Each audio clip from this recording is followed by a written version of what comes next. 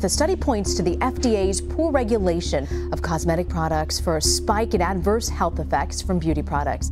You can't admit that your product today is toxic. You're going to be hit with all kinds of lawsuits.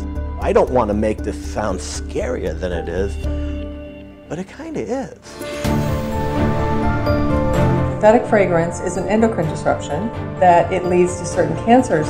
You will lose every single hair on your whole entire body. I face my fears every single day when I research those products. There's no safety standard.